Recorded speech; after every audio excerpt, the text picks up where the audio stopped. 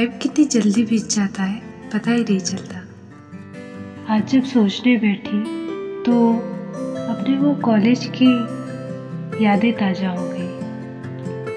Friends के साथ की गई मस्ती घूमना क्लासेस बंक करना लाइब्रेरी में बातें करना, कितना कुछ किया था हमने।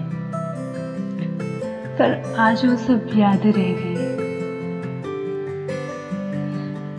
एक ऐसी याद भी है जो आज ताज़ा हो गई है। वो मैं आपके साथ शेयर करना चाहती हूँ। एक लड़का था जिसको मैं अक्सर देखा करती थी। पर इसका मतलब ये नहीं कि मैं उसे पसंद करती थी, बस उसकी हरकतें कुछ ऐसी थी जो मुझे मजबूर करती थी उसे नोटिस करने के लिए। सुबह उठते ही बालकनी में हवा खाने निकलो तो सबसे पहले उसका ही चेहरा नज़र आता था।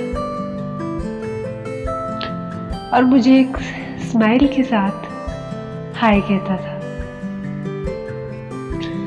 अब आप ये सोच रहे होंगे कि वो मुझे ही देखने के लिए बालकनी में आता होगा।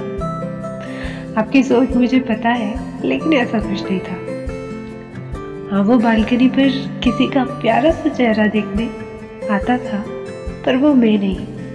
मेरी फ्रेंड थी जिसका चेहरा वो देखने आता था।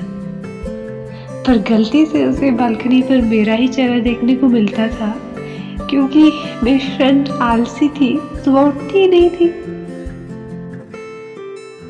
कॉलेज में भी गेट से हमारा इंतज़ार करता था। हमारी तरफ़ तो इस तरह से आता था कि लगता था जैसे कुछ कहना चाहता है। हमारे सामने पहुँचते ही एक स्माइल देके वहाँ से भाग जाता था। पर मुझे अकेले देखकर मेरे पास आकर इतनी बातें करता था कि मैं उस लड़के को समझ ही नहीं पाती थी। मुझसे बार बार कहता था, तू मेरी फ्रेंड है ना? तो मेरे लिए अपनी फ्रेंड से बात करना। हमेशा मेरे पीछे पड़ा रहता था। उसने जैसे मुझे डाकिया समझ लिया था। मैं उसे मना करना चाहती थी, पर पता नहीं क्यों उसके इनोसेंट से चेहरे को देखकर उससे मना ही नहीं होती थी। फिर एक दिन मेरी फ्रेंड ने कहा, चल ठीक है, मैं उससे मिल ही लेती हूँ। ये बात सुनकर मुझे ये समझ नहीं आ रहा था कि मैं खुश हूँ या दुखी हूँ। पर मेरी फ्रेंड ने उसे अपना फ्रेंड बना दिया। उसके सामने तो उसकी ज़ुबान खुली नहीं। और मेरे पास आकर रोने लगा।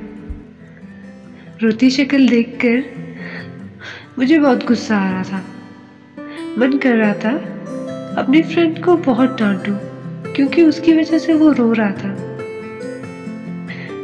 अरे नहीं, इसका मतलब ये नहीं कि मैं उसे पसंद करती थी, बस मैं किसी को दुखी नहीं देख सकती। मुझे सबके हँसते हुए चेहरे पसंद है। वो तो फिर भी मेरा अच्छा दोस्त था। अगली सुबह मैं बालकनी पर नहीं गई। मैंने अपनी फ्रेंड को उठाकर बालकनी पर भेज दिया। पर कॉलेज में जब मिला तो उसका मिजाज कुछ बदला सा लग रहा था। उसने पूछा, आज तुम बालकनी पर क्यों नहीं आई?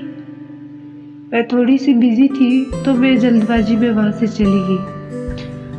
पर पता नहीं वो क्यों मुझे ढूंढ रहा था और मैं उससे भाग रही थी? ये बात मुझे भी समझ नहीं आई, पर मैं उससे बात करने से डर रही थी। जब मैंने अपनी फ्रेंड के साथ देखा तो मेरा मन हुआ कि मैं उनकी बातें सुनूं। उसने मेरी फ्रेंड से कहा कि पता नहीं कैसे वो मुझे पसंद करने लगा है। उसकी बात सुनकर पता नहीं क्यों मैं मन ही मन हंस रही थी। पर इसका मतलब ये नहीं कि मैं उसे पसंद करती थी। बस मैं उसकी हरकतें देख रही थी, शायद इसीलिए मैं मन ही मन हंस रही थी।